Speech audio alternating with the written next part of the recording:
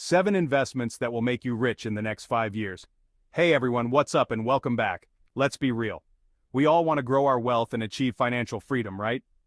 The good news is, building significant wealth in a short amount of time is entirely possible. It all comes down to making smart investment choices. The key is to identify assets with high growth potential, understand the risks involved, and then dive in head first.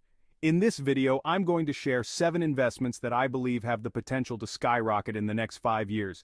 We're talking life-changing returns here, people. Whether you're just starting out on your investment journey or you're a seasoned pro looking for the next big thing, this video is for you. Are you ready to discover the top investments that can help you unlock your financial dreams and put you on the fast track to financial freedom? Let's get right into it. First up, we have real estate, a tried and true wealth building powerhouse. Real estate is expensive. How can I afford to get started? There are ways to break into real estate investing without needing to be a millionaire. One popular option is house hacking. Buy a multifamily property, live in one unit, and rent out the others. Rental income helps cover your mortgage and other expenses. It's a fantastic way to start building wealth through real estate. Another strategy is to invest in REITs or real estate investment trusts. REITs own and operate income-producing real estate properties. Think of them like giant landlords. Invest in REITs to gain exposure to the real estate market without being a landlord. Historically, real estate has generated an average annual return of around 8 to 10%. Real estate is a tangible asset, providing security and stability.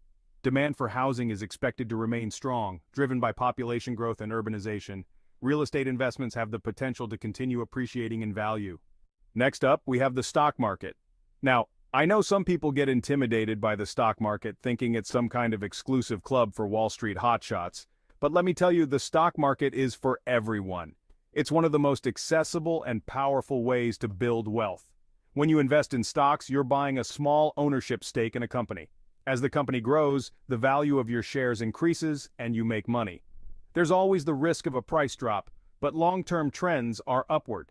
Do your research and choose companies with a solid track record. I recommend investing in low-cost index funds. Index funds track a market index, like the S&P 500. They diversify your portfolio, reducing overall risk. And they have low fees, keeping more of your money invested. The stock market has generated an average annual return of around 10%. Alright, let's dive into the exciting world of cryptocurrencies. Now, I know crypto can seem a bit intimidating and complex, but trust me, it's not as complicated as it sounds. In simple terms, cryptocurrencies are digital or virtual currencies that use cryptography for security.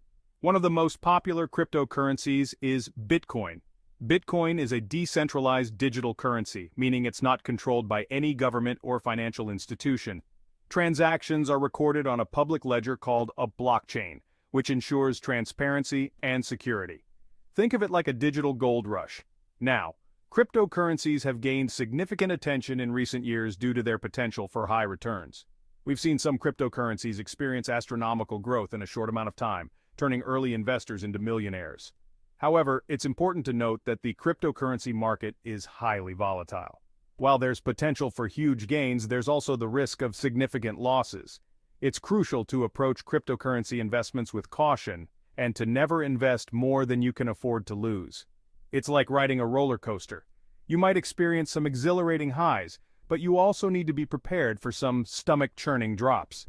Despite the volatility, many experts believe that cryptocurrencies are here to stay and that they have the potential to revolutionize the financial system.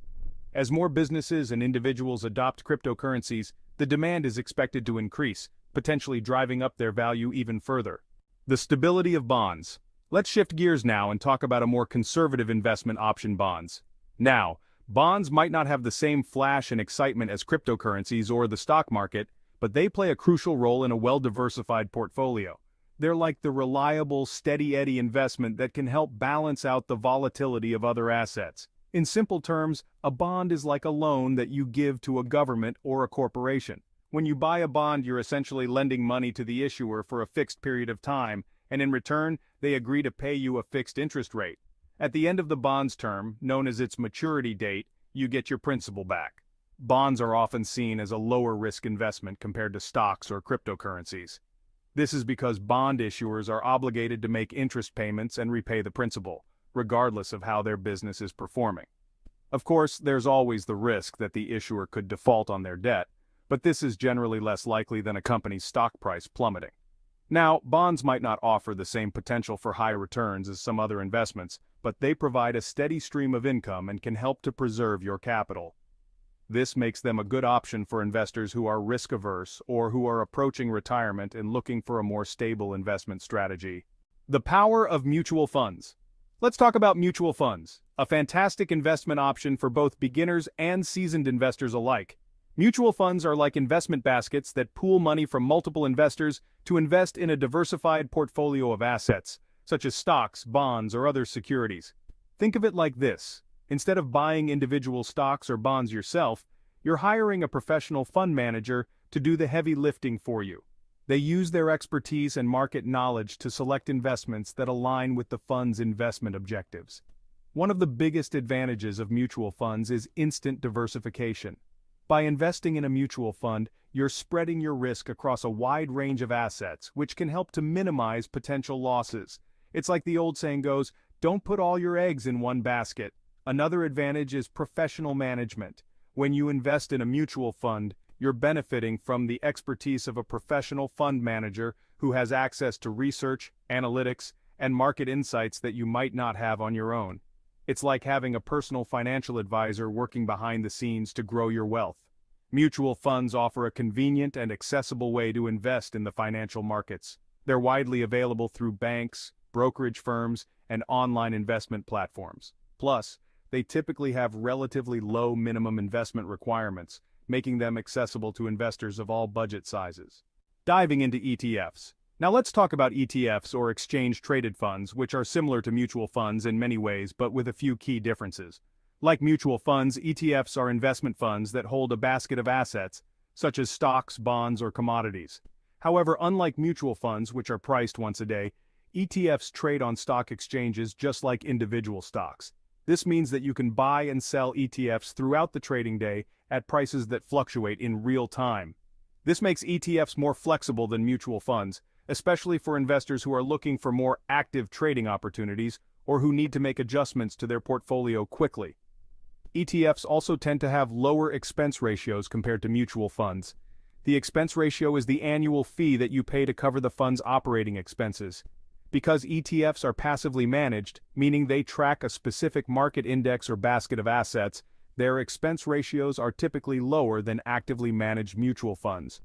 This makes ETFs a more cost-effective investment option, especially for long-term investors who are looking to minimize fees and maximize their returns. Over the long term, even small differences in fees can make a significant impact on your overall investment returns.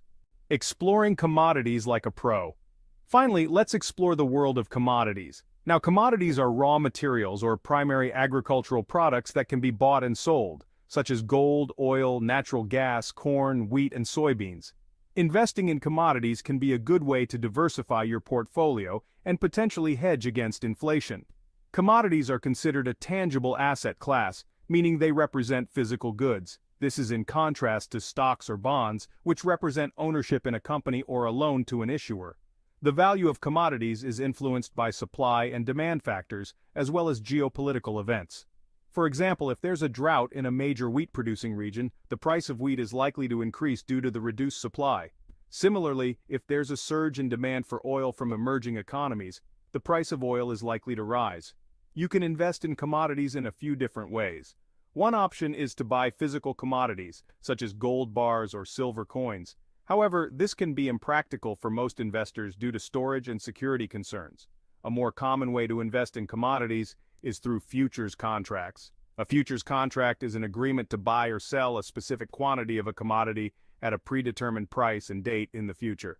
Start building your financial empire today. So there you have it. Seven powerful investment strategies that can help you build wealth over the next five years and beyond. Remember, the key to successful investing is to start early, stay consistent, and never stop learning. Which investment are you most excited about? Let me know in the comments down below. And don't forget to check out my next video, Investing for Beginners. Start building wealth today, where I'll walk you through the basics of investing and show you how to get started, even if you're starting with a small amount of money.